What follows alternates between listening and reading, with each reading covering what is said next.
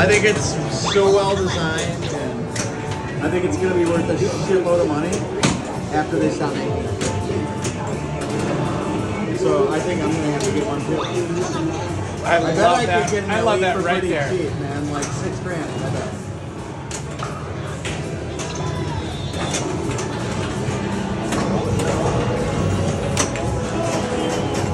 The ramps are so cool, man. The powder coating Oh yeah. is badass. I mean, the footage is great.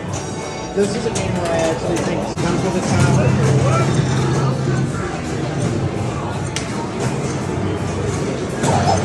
Yeah, the ramps are fun as hell.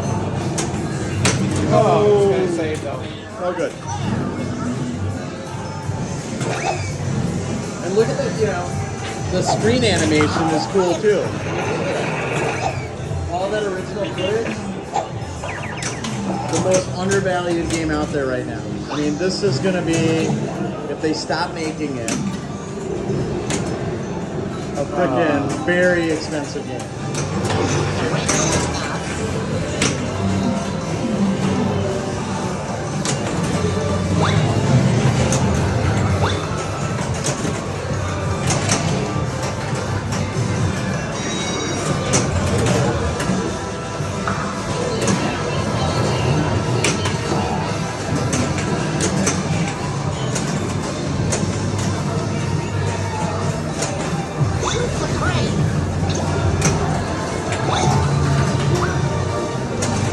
Wow.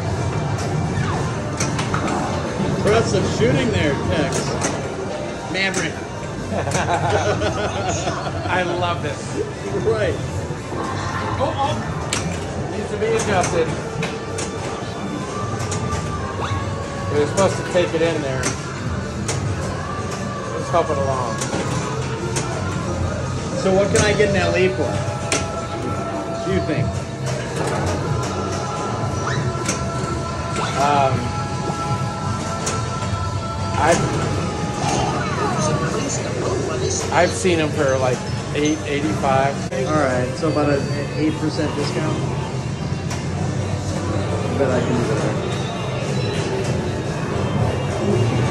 Yeah, Yeah, they're still it's like a no. It's like a no-brainer. they're still in pretty know? short supply. Yeah, I know, but it, it doesn't get a lot of love. Like I actually, I should buy